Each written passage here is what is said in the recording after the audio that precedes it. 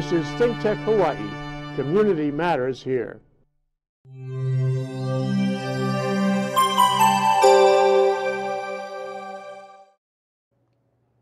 Welcome back to the Cyber Underground, everybody. I'm the professor, no longer the cyber guy, because there's somebody else out there as a cyber guy. So I'm the professor now. Once again, I teach for the University of Hawaii, Kapiolani Community College. Uh, shout out to our new department chair for the uh, Business, Legal, and Technology Department, uh, Laura Burke. Uh, welcome, and we're happy to have you. I know you're just watching the show. She just found out we have a show. she didn't even know. uh, welcome. Today we got some updates and some great topics for you and some really lively discussion. I have with me here again our great guest, JT Ash, HIPAA Compliance Officer from the University of Hawaii. Welcome, brother. Welcome, welcome. How you doing, man? Happy New Year, my friend. Happy New Year. How This your holidays? First show of the year, right? Yeah, Wow. yeah, 2019. So this is Blade Runner year. Is it Blade Runner This year? is Blade Runner year, and the opening of Blade Runner says Los Angeles 2019. Mm-hmm. A little different than the movie. Just a, unless everybody's a replicant, and I don't know. See, not, not, It you, could- you might be onto something. You definitely So, might be onto something. I, I love I love when we hit those years that people predicted would be a certain way. There's 1984. Uh, there was a sci-fi show about the year 1999. Mm-hmm. Uh, BBC had it. It was uh, the moon broke away from the Earth. You remember this one? It was- I, I, I, I'm not a big weird. movie fan, but I always remember Y2K and how we spent, what was it, 18 months to two years trying to fix everything that we're supposed to break when Y2K came around and everybody was sitting there in their data center at midnight or whatever it may be and nothing broke.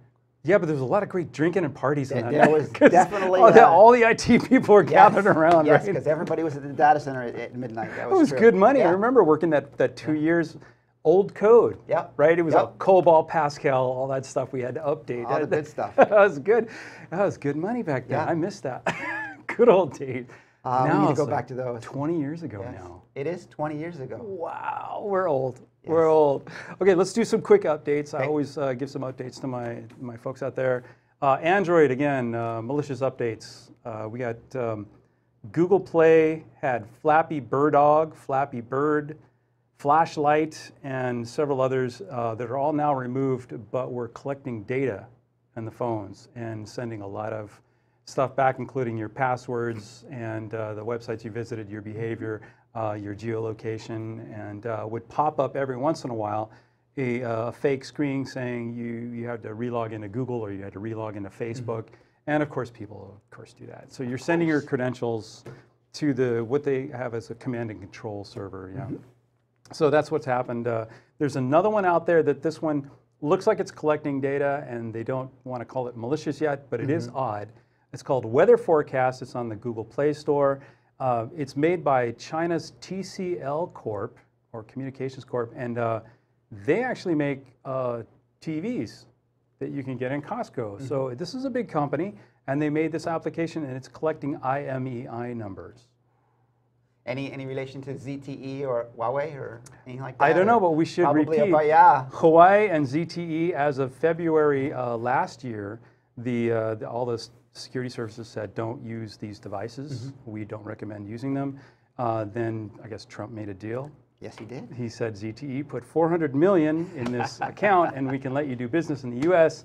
And then it, all I can imagine is the money must have run out because he Yes. changed his mind. Yes, of and he said you can't do this anymore.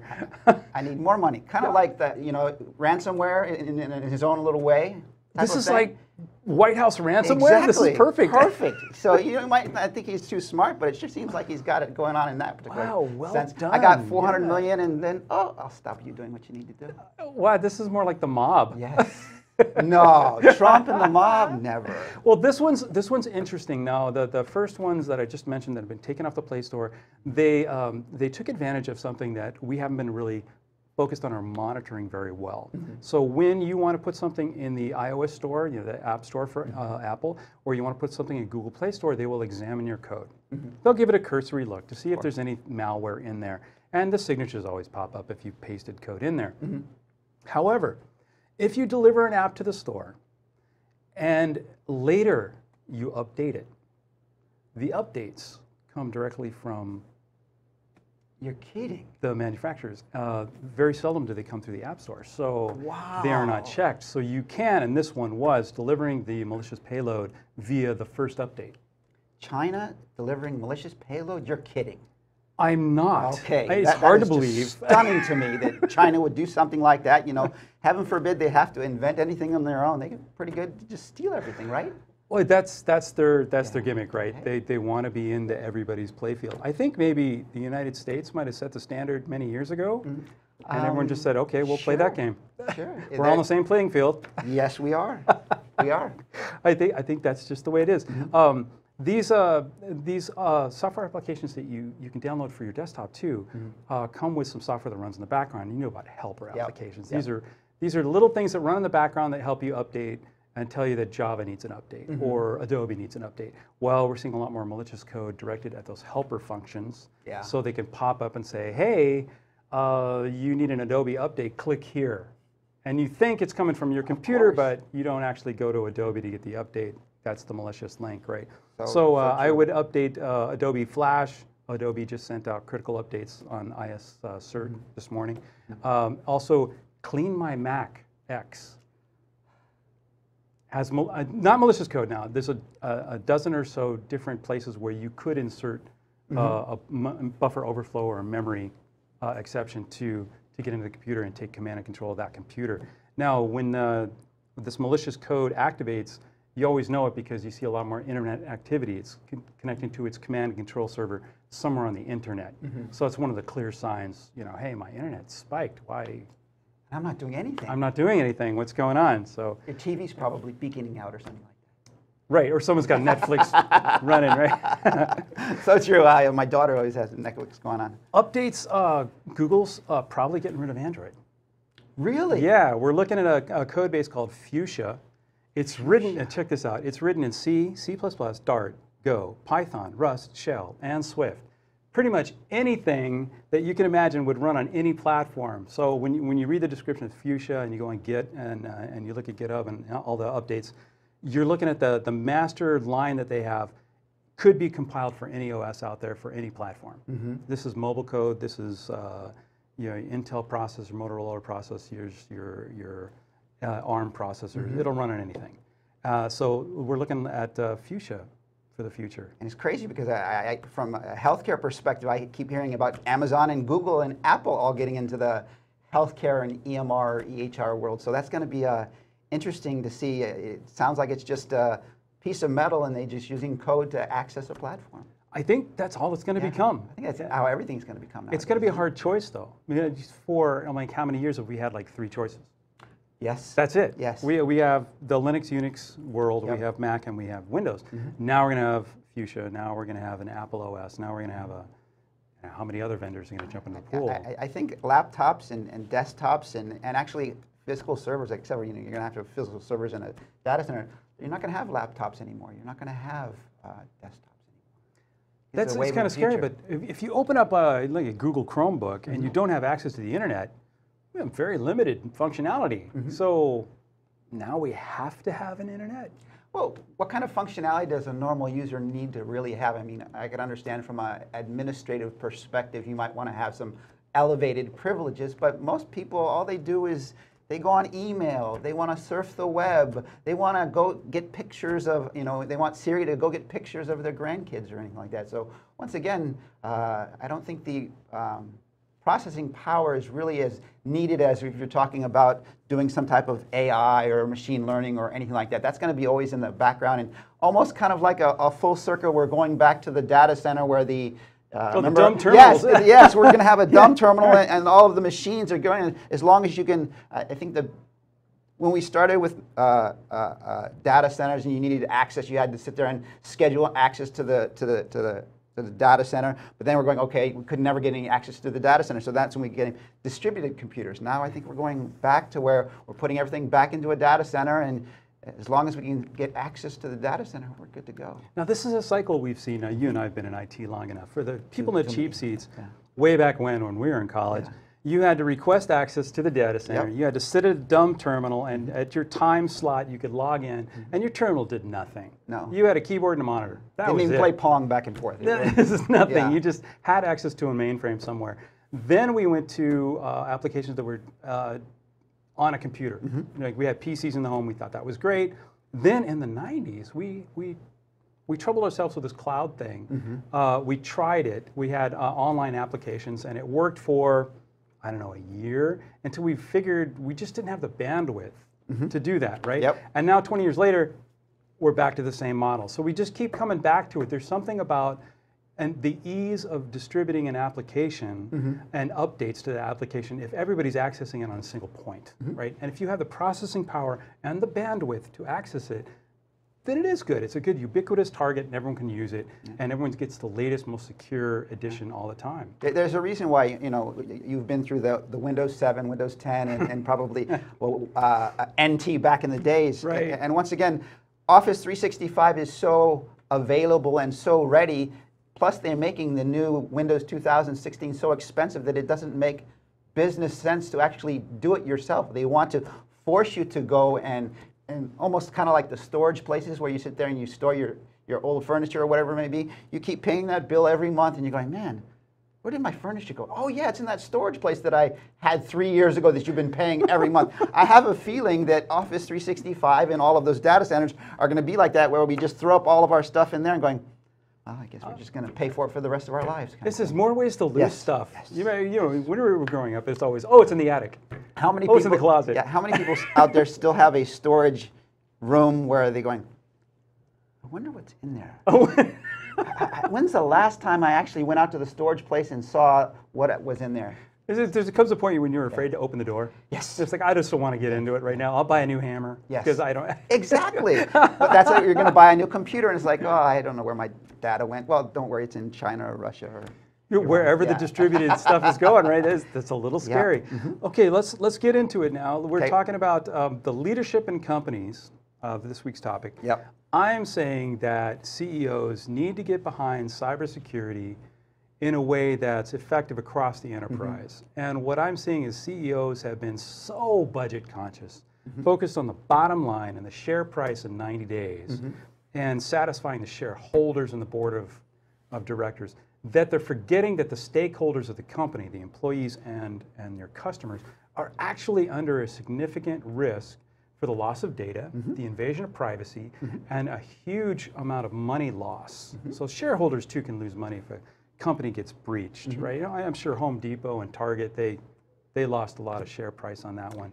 They're coming back up. They're coming back up. right? But if the CEOs had had, in my opinion, a little bit more foresight uh, and not been so old school about share price, they could have prevented that and kept their stock on a very even keel and been able to tell their shareholders, we're taking care of you.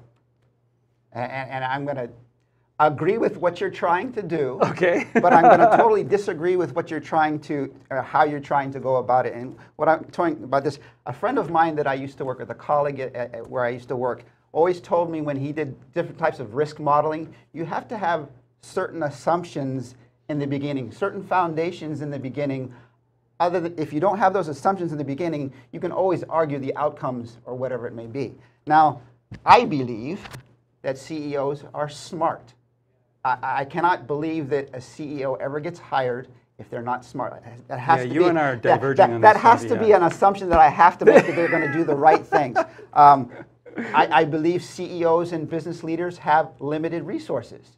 I I think we could at least agree that they have limited resources. They do have that- limited that they have to do that. Yeah. So with those two particular things, I do believe that CEOs and business leaders have dealt with risk for the 30, 40 years. It's, it's nothing new to them. And, and I keep hearing from everybody telling me cyber risk is business risk. Well, if No, no, no. I, I think there's it, there's a divergence there too. Okay. I, I believe, in in my opinion, and we should get into this after the break. Okay. In my opinion, CEOs have understood risk for Yep. generations.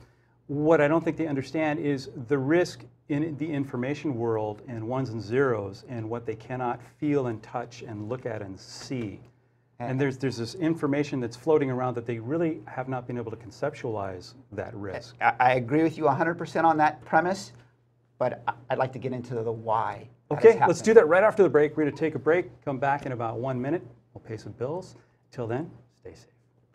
皆さんこんにちは ThinkTech ハワイが日本語でお届けする「こんにちはハワイ」の日本語放送のホスト国末ゆかりですえ 各週月曜日の2時からお届けしています。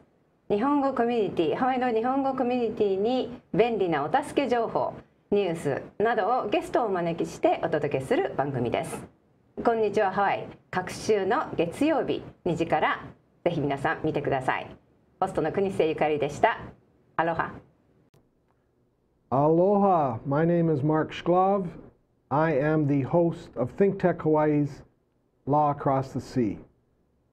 Law Across the Sea is on Think Tech Hawaii every other Monday at 11 a.m. Please join me where my guests talk about law topics and ideas and music and Hawaiiana all across the sea from Hawaii and back again. Aloha.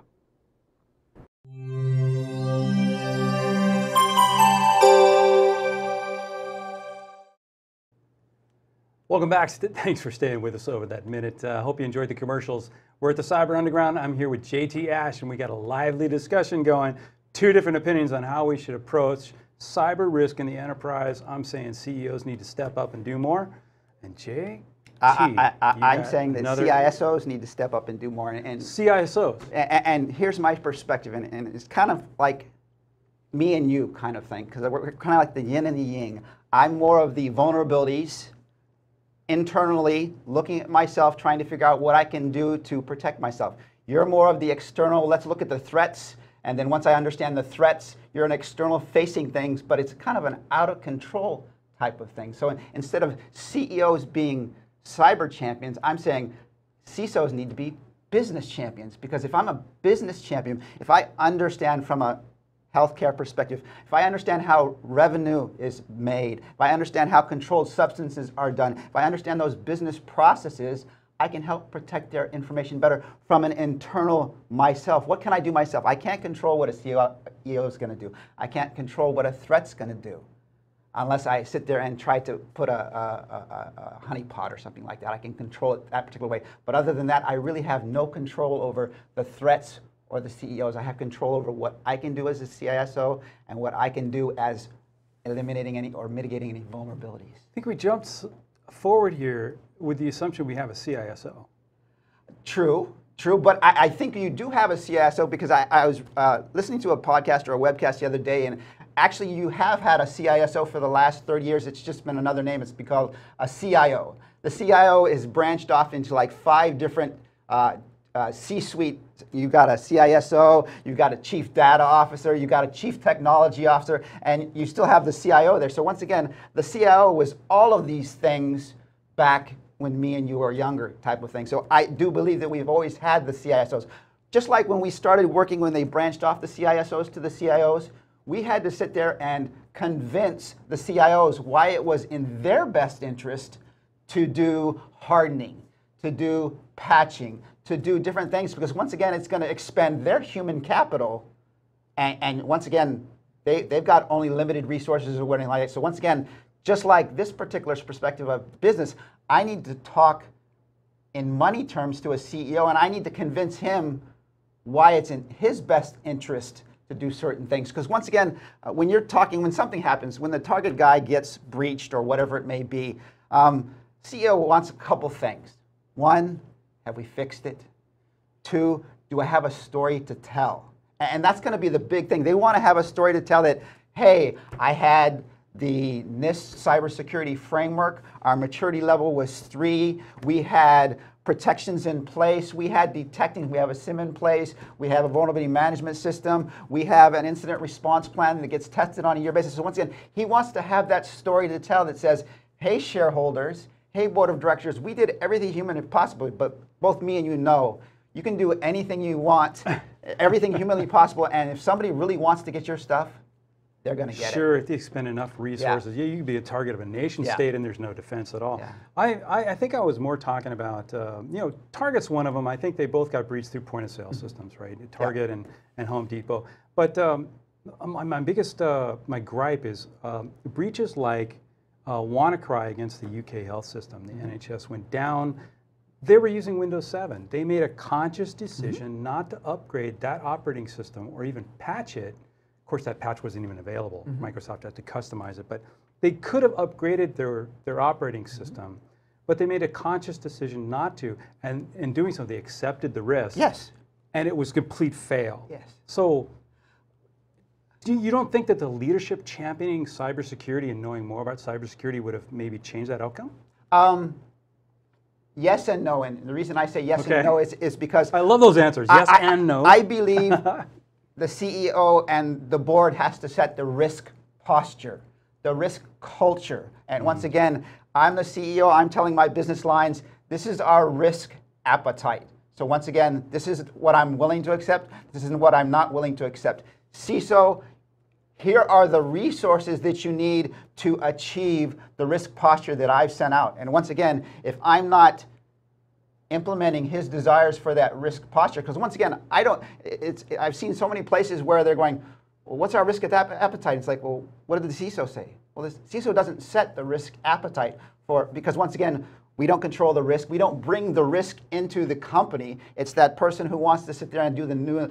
We want to integrate all of these uh, information feeds so we can put AI in, into practice and make better decisions or whatever it may be. So once again, when those guys bring risk into the in- in- into the environment, they have to understand the risk appetite. And once again, I have to go and let that CEO know this is what I need to meet and achieve your risk appetite that you've set for the company. so if they say no, And, and once again, they've tacitly or uh, overtly kind of accepted the risk. And once again, that's their job. They, they get once again they're juggling balls. And, and Right, once right, again, I, I do believe this. And, and when I've worked for as many CAOs as I have, their number one main thing and where they get paid and where they get their money from is growth.